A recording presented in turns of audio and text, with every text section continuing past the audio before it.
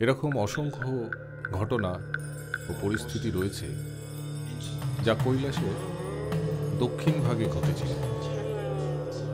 সব ধরনের মানুষই শিবের থেকে উৎকৃষ্ট জিনিসগুলি পেয়েছে জগৎ সংসার বিচার করতে পারে যে ওনারা হয়তো এসবের উপযুক্ত নন, কিন্তু তিনি কখনো সেরকম বিচার করেন তারা যখন চেয়েছেন, তিনি দিয়েছেন। তোমরা সকলে ভস্মাসুরের বিষয়ে জানো, সে একজন যোগী ছিল। সে শিবের কাছে এসে বলল যে তার এমন ক্ষমতা চাই যে যাকেই সে স্পর্শ করবে, সে যেন ভস্যে পরিণত হয়। শিব বললেন, ঠিক আছে, তাই হবে। তারপর সে তার হাতটা রাখতে গেল শিবের মাথায়। সে দেখতে চাইল এটা যে সেটা শিবের ওপর কাজ করে কি তো শিব উঠে দৌড়াতে লাগলেন আর ফের যথারীতি তিনি বিষ্ণুর সাথে পরামর্শ করলেন, কি করা যায়? বিষ্ণু বললেন, দাঁড়াও।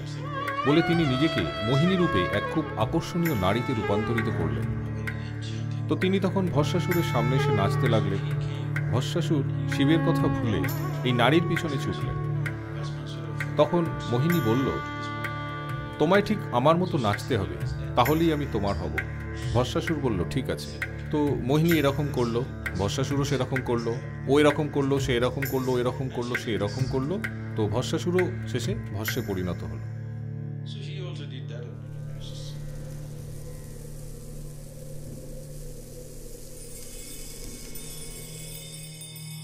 শিবকে সর্বদাই দেখা হয় খুব শক্তিশালী সত্তা হিসেবে। At the same time, not so crafty with the world. So one form of Shiva is known as Bholenath because he is childlike. Not that he's stupid.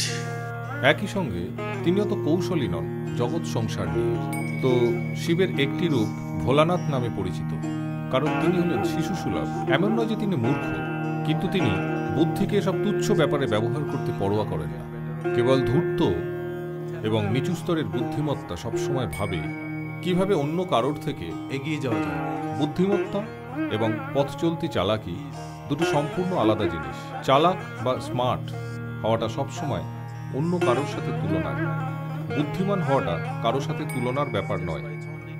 এটা নিজস্ব প্রকৃতি।